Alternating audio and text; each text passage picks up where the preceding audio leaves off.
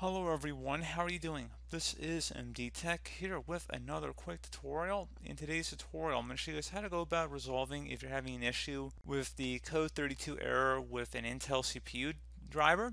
And it says that a driver for or service for this device has been disabled. An alternate driver may be providing this functionality followed by a code 32. So should hopefully be a pretty straightforward tutorial guys. And without further ado, let's go ahead and jump right into it. So we're going to start off by opening up the start menu. Type in regedit, R-E-G-E-D-I-T. Best result should go back to registry editor. You want to go ahead and right click on that and select run as administrator. If you receive a user account control prompt, select yes.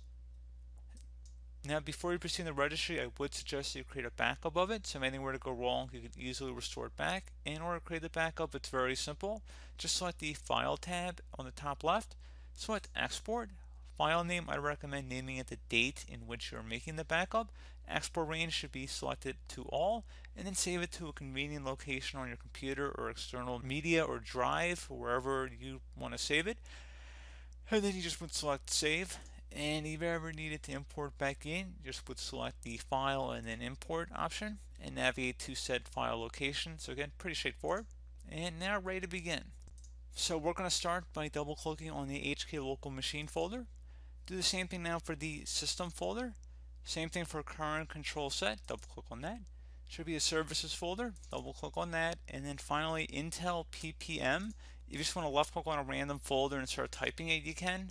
But again, Intel PPM.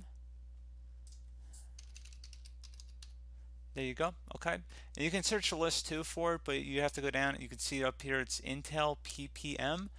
And you can take a note of the file path up at the top of the screen here if you need to pause the video at this point to catch up.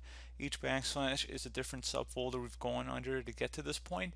And now you want to direct your attention over to the right panel where it says start and it's a reg dword value. Go ahead and double click on that. In the value data field, delete whatever number is typed in here and type the number 1. Select OK. And once you've saved that, you can just close out of here restart your computer, and then hopefully that error message should have been resolved if you attempt to update the driver or whatever you were doing prior in the device manager. Hopefully this issue should be resolved. So restart your computer and that should be it. And as always thank you for watching. Do hope I was able to help you out and I do look forward to catching you all in the next tutorial. Goodbye